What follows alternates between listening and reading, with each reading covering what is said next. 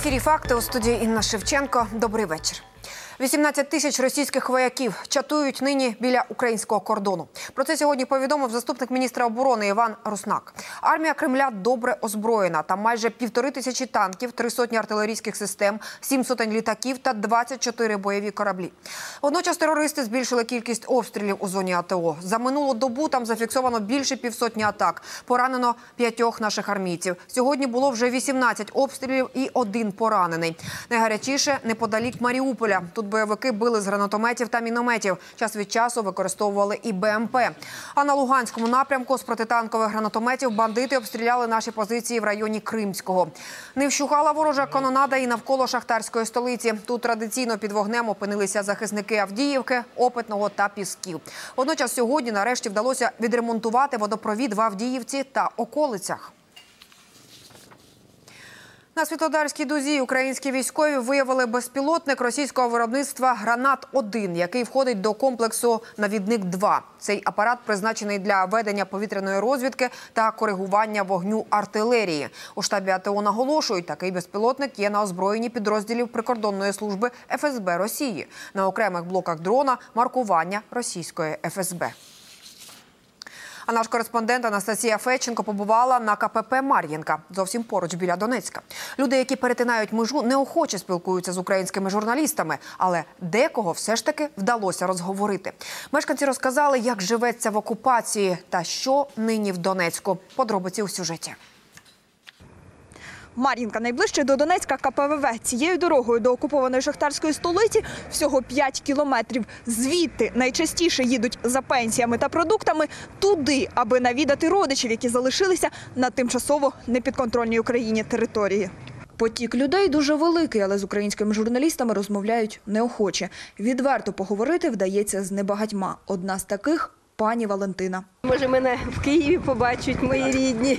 Трошки сиру, трошки молока, трошки яєць. Я тут купляю, бо там такого немає сиру, там такого молока нема. Я не знаю, що там. Откуда вони що привозять? У Донецьку в обігу російські рублі. Ціни теж російські, значно вищі. А ось роботи немає. Самопроголошена влада закриває шахти. Люди на межі виживання. Купують харчі на підконтрольній Україні території. Вони якісніші і дешевші. Відновлюють зруйновані війною будинки з самотужки. Я на Абакумова. Ось під Михайлівкою. Дом розбитий, ремонтувати. А хто буде? Мені 60 років. Хто його буде ремонтувати? Виїхати жінці нікуди, рідня також літнього віку. І понад усе вона хоче, щоб закінчилася війна і можна було спокійно спати і не боятися виходити на вулицю. Спокойствия і миру. Щоб ми були всі одні. Я не хочу, щоб ми мої там, а я тут.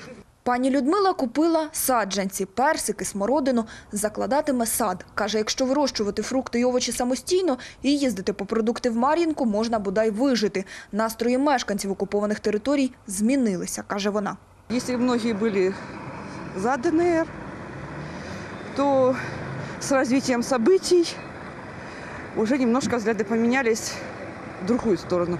Просто ожидали лучшего, а лучшего немного. Получ- Можно сказать, что мало. Із Донецька їдуть переважно ті, хто провідував там родичів. Все хотят просто, чтобы уже было спокойно, потому что, во-первых, очень тяжело ездить долго. Если до этого добирались за 3, за 3, за 3, за 4 часа, то есть сейчас это проблематично, это намного дольше. Ну, в лучшем случае часов 6-7. Щодня через КПВВ проходять майже 7 тисяч людей і проїжджають півтори тисячі машин. На огляд пішохода – хвилина-дві. Через велику кількість людей раніше виникали черги. Нині потік пожвавішав завдяки чотирьом модулям. Їх прикордонникам передала місія ООН. У кожному працює по п'ять прикордонників.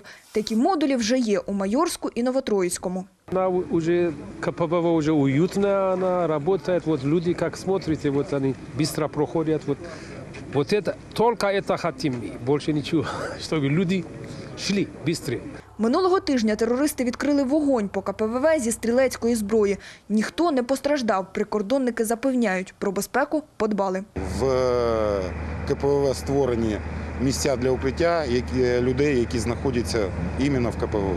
Анастасія Федченко, Євген Тур та Олег Цимбалюк. Факти. ICTV. Ліки стануть доступнішими. Сьогодні в Україні стартує відповідна програма. Відтепер життєво необхідні препарати можна отримати безкоштовно або з частковою оплатою. У списку 157 препаратів, з них 21 будуть безоплатні. До програми, поки долучились 1400 аптек, розпізнати їх можна за спеціальними наліпками. Як діє ця система, розкаже Олена Астахова. Сьогодні офіційно стартує державна програма Доступні ліки. Тобто держава компенсує повністю або частково вартість деяких медикаментів в аптеках. У вінницьких поліклініках та амбулаторіях ажіотажу поки немає. Люди консультуються з лікарями і вираховують, які препарати потрібно вписати в рецепт. Я вам виписую рецепт. Ви з таким рецептом йдете в аптеку і отримуєте ліки. Частина ліків буде безкоштовно, інші ліки будуть за відшкодуванням.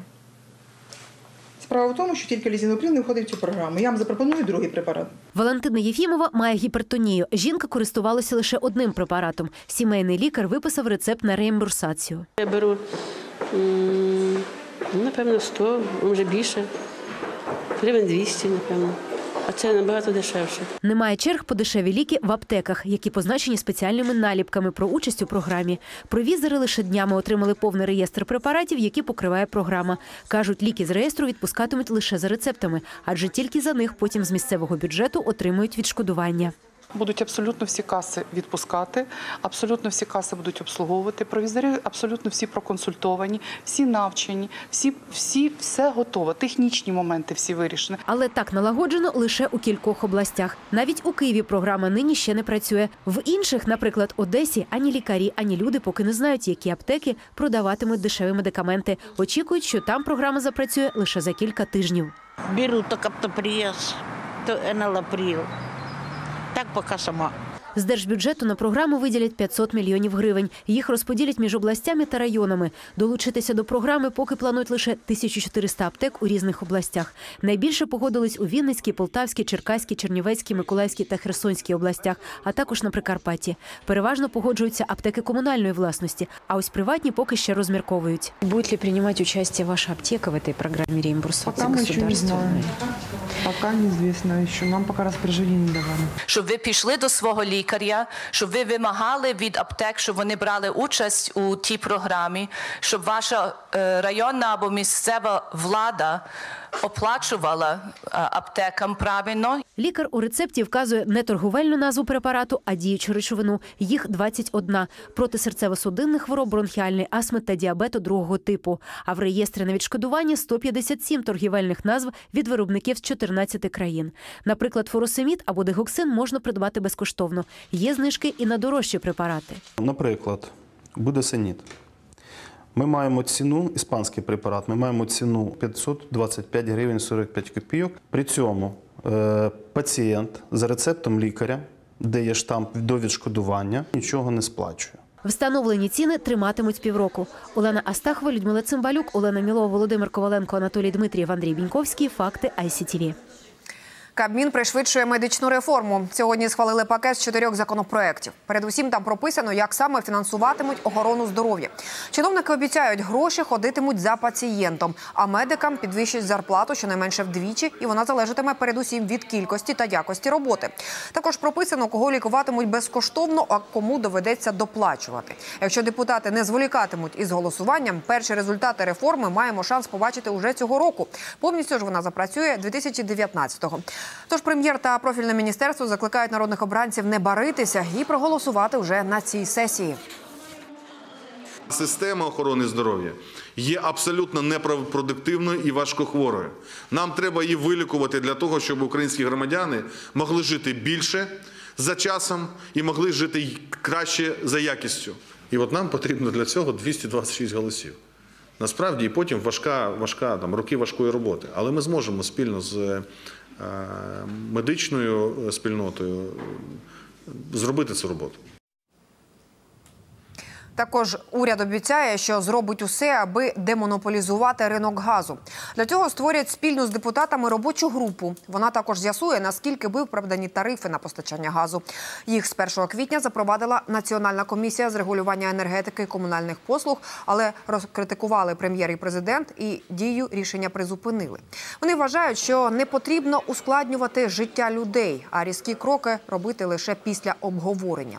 Аби дотиснути регулятора в Кабмін сьогодні зайшла повним складом фракція радикальної партії. Олег Ляшко переконаний, тарифи на постачання треба скасувати назавжди, а газ зробити дешевшим. Скандалу не вийшло. Прем'єр заявив, 7,5 мільйонів родин отримують субсидію від держави. А на дешевому блакитному паливі саме і наживалися багатії.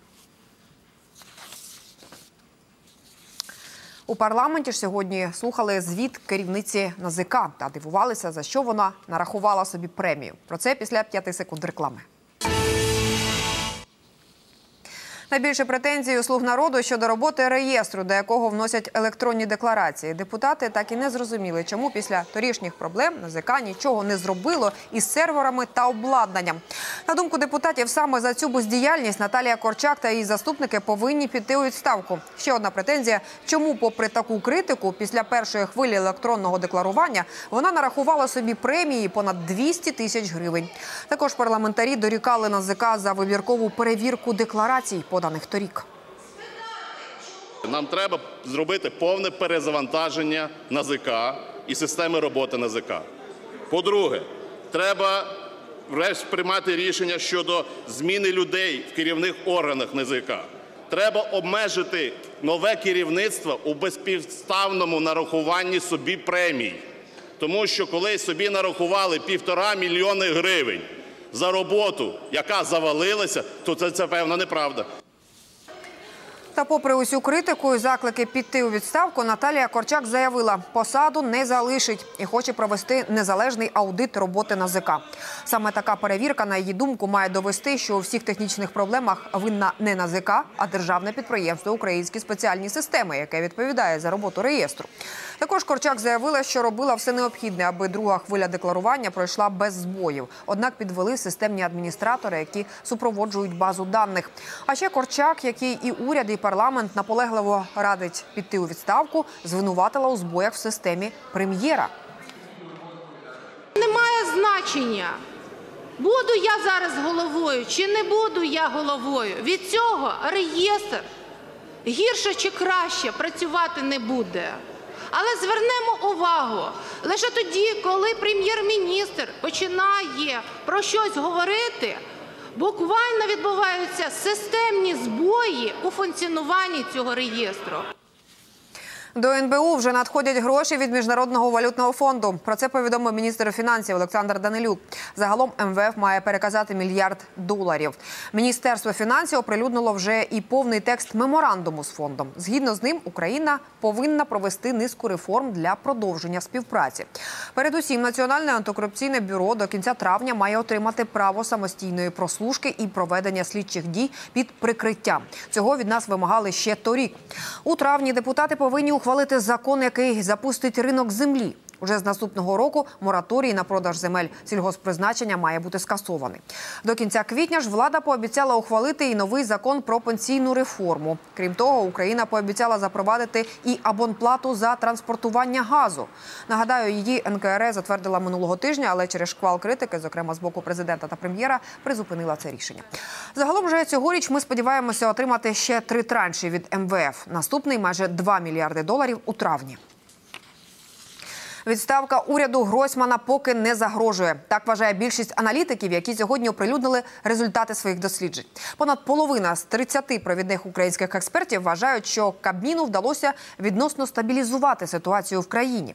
Але 40% переконані, що ситуація не змінилася порівняно з роботою попереднього уряду. Лише 8% респондентів впевнені, що криза лише поглибилася чи виникла нова. Головним досягненням уряду Гройсмана третина опитаних називає економічне зростання. До позитивів відносять також реформи в енергетиці, вирівнювання цін на газ, видачу субсидій і підвищення мінімальної зарплати. Головний результат цього уряду це відновлення економічного зростання. Да, Цифри скромні, 2% всього. Але е, головне, що подолана тенденція е, падіння економіки. Два роки поспіль, 14-15 рік було падіння і суттєве падіння. Дві третини експертів переконані, що цьогоріч також буде незначне зростання ВВП приблизно на 2%. Ще 17% переконані, що зростання буде більшим. І лише незначний процент фахівців вважають, економічна ситуація погіршиться. Але загалом переважна більшість експертів переконана, відставки уряду Гройсмана не буде. Чим відрізняється минулий уряд і цей уряд? Да? Це перше, це те, що все ж таки, на відміну від уряду Яценюка, цей уряд став індикатором якихось добрих новин, да? на відміну від е, уряду Яценюка, який постійно чимось шокував населення. Це показує соціологія загальна, що все ж таки довіра до уряду цього виросла. Україна засудила застосування хімічної зброї проти мирного населення Сирії. В Міністерстві закордонних справ зазначили, це грубе порушення міжнародного права. Вчорашня газова атака по сирійській провінції Ідліб стала найбільш смертоносною з початку воєнного конфлікту на території країни. За останніми даними загинуло 72 людини, серед них 20 дітей. Постраждали 300 мешканців. ООН встановила, що був використаний нервово-паралітичний газ. Штати та ЄС заявили, в атаці винен режим Асада. Сирійські військові звинувачення відкидають. Радбез ООН зібрався на екстрене засідання, обговорюють резолюцію із засудженням використання хімічної зброї. Москва ж стверджує, документ антисирійський спричинить ще більше загострення ситуації. Тож невідомо, чи ухвалять резолюцію, адже Росія має право накласти вето. Експертиза ДНК підтвердила, що теракт у петербурзькому метро скоїв 22-річний уродженець Киргизії Акбар Джалілов. Про це щойно повідомили у слідчому комітеті Росії. Для експертизи до Пітера доправили матір головного підозрюваного. Експерти-криміналісти знайшли генетичні сліди чоловіка на сумці з вибухівкою. Тепер слідство намагається з'ясувати, чи був пов'язаний Джалілов із, терорист... із терористичним угрупованням ІДІЛ. Силовики вважають, що він залишив замасковану бомбу на станції площадь Вастанія, а потім підірвав себе в вагоні поїзда.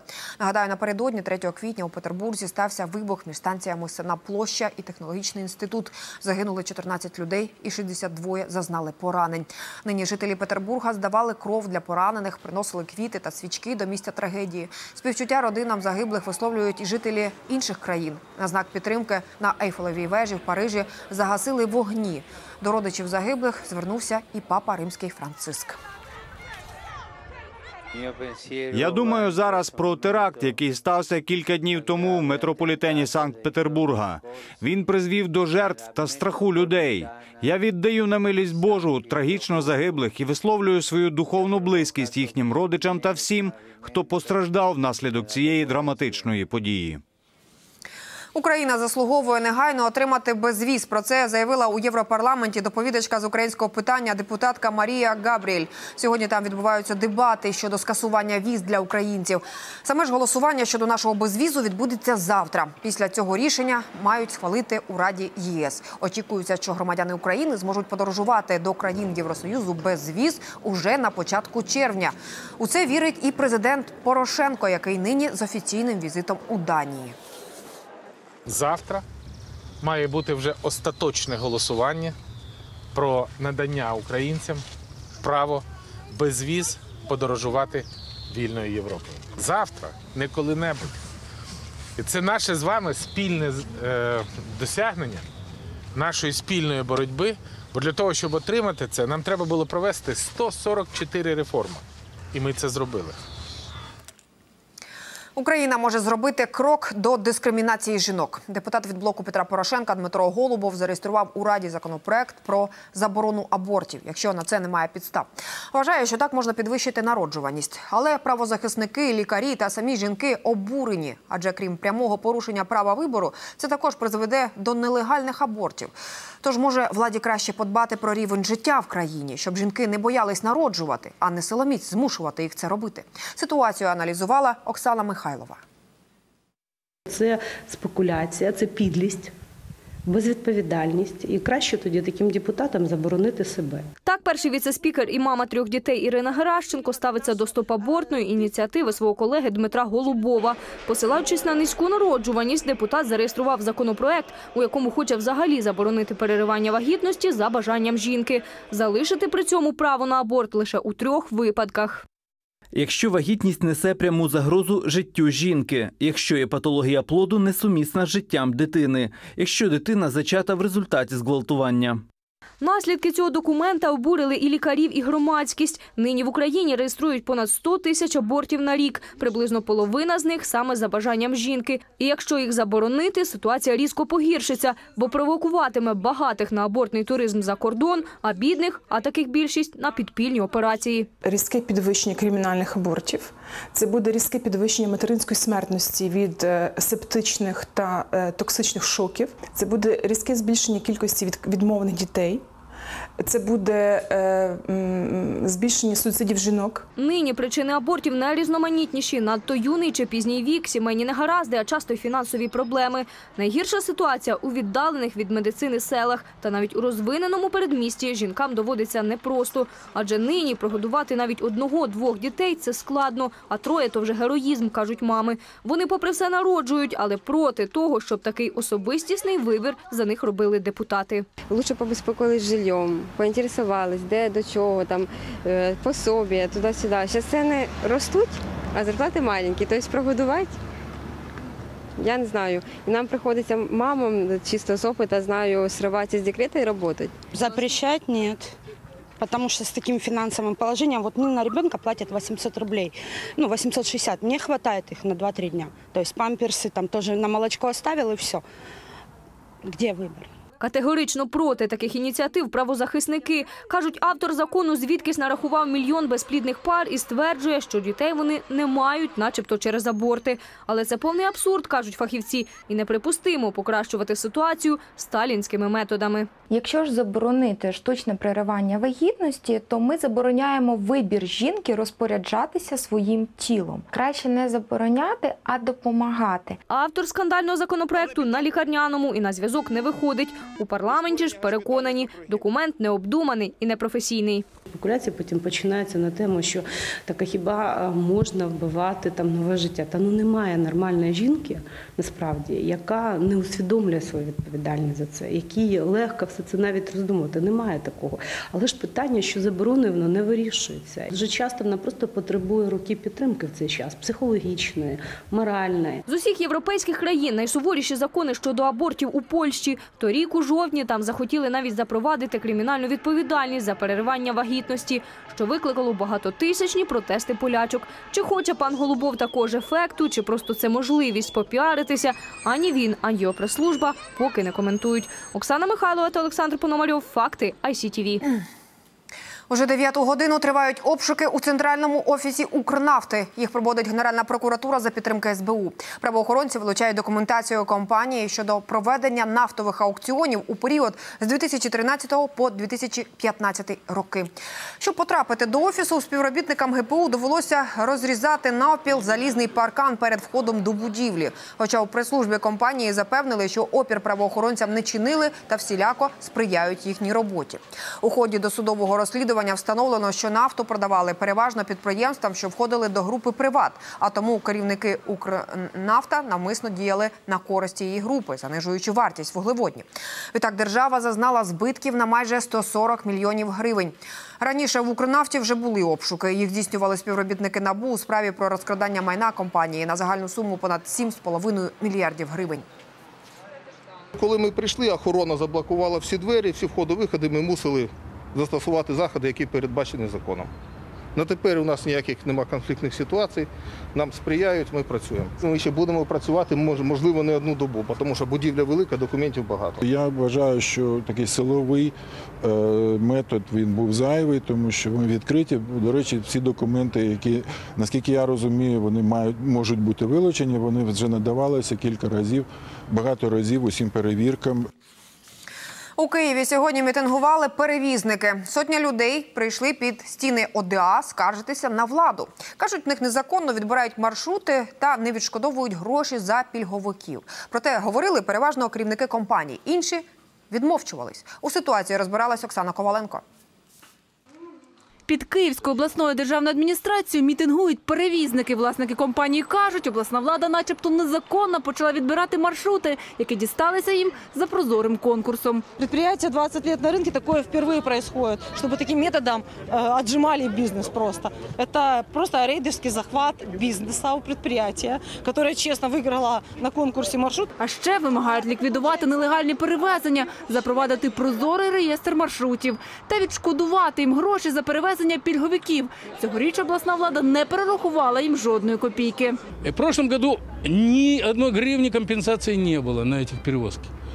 В позапрошлом году было 3 гривны на человека в месяц. Как вы представляете? Вот он дол- Під стіни адміністрації приїхали понад сотню маршруток. В дворі розбили намет, мітингувальники запаслися шинами та бензином та підтримкою хлопців, підлітків і пенсіонерів. Останні, правда, так і не змогли пояснити фактам, чому прийшли під адмінбудівлю. Ви не знаєте, чому ви тут? Ми знаємо, чому ми тут. Ми требуємо. А що ви вимагаєте? Ну, вимагаємо. Що ми тому вимагаємо? Не хотіли говорити на камеру й самі водії маршруток. Ви хочете говорити? Ні, там є начальство, не говорить. На щастя, обійшлося без застосування сили і обіцяного паління шин не було. Через щільне кільце спецпризначенців, активістів таки пропустили до голови облдержадміністрації. Той пояснив, гроші за перевезення пільгових пасажирів справді не платять, бо поки удосконалюють систему підрахунку таких пасажирів, а маршрути відбирають винятково за рішенням суду. Всі рішення Київської обласної державної адміністрації, які стосуються маршрутів, які були прийняті останнім часом, вони всі спрямовані на виконання рішень суду, тобто рішення суду прямої дії, і воно не дає нам право вибору е, призначати, не призначати. Є чіткий припис, ми його зобов'язані виконувати, ми його виконуємо. Для владнання конфлікту вже створили робочу групу. Обіцяють змінити правила проведення конкурсу з розподілу маршрутів. Щоправда, самі перевізники про здорожчання проїзду, що обурило тисячі пасажирів, скромно промовчали. Оксана Коваленко, Олександр Чесноков. Факти ICTV. Львівщина оговтується від наслідків негоди. По всій області півтори години тому повністю відновили електропостачання. Напередодні ж гроза знеструмила 61 населений пункт. Та розслаблятися зарано. Дощі йтимуть і завтра по всій західній Україні, а також у центрі, навіть з грозами. На заході ж збережеться прохолодна погода. На Закарпатті найхолодніше до плюс восьми в день. А на високогір'ї будуть навіть сніг та мороз і загроза сходження лавин. Стане прохолодніше і на Одещині. Зате на сході та частково у центрі обіцяють сонце і справжню весну. У Тернополі прокурор, який вбив власну родину, здався. Про це готуються розповісти надзвичайні новини одразу після фактів. І ведуча Вікторія Сенек уже у студії. Віко, добрий вечір. Отже, чим дивуватимете ще сьогодні? Інно здався, але ж не все так просто. Добрий вечір. Це шокуюче, адже від журналістів і всіх українців хотіли приховати найцікавіше щодо цього прокурора убивці. Але ж від нас не сховатися. Ми розкажемо сьогодні, де він зараз. Причому я запевняю, відповідь для вас буде повною несподіванкою. А ще ми приголомшимо чорною магією Олі Полякової, яка тепер у кайданках. Вам не почулося. Я розповім таке, від чого волосся стане дибки. Тож тримайтеся і чекайте. Дякуємо, Віко. Тримаємося і чекаємо. Отже, факти з вами прощаються до 21.05. На все добре.